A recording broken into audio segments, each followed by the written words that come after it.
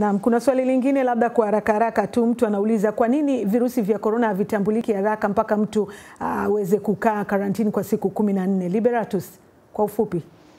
Hivi virusi vinaanza kuonekana kwenye mwili wa binadamu kuanzia siku saba mpaka kumi, siku saba, nane, tisa mpaka kumi na nne, na ndio maana kama ukiwa umesafiri umeenda sehemu, ukirudi uh, wanakuweka karantini kwa siku kumi na nne, siku ambazo wanaita nafikiri incubation period. Kwa hiyo kwa, kwa, kwa, kwa muda kama huu wa siku kumi na nne ni muda tosha kabisa vile virusi kuweza kuonekana kwenye vipimo.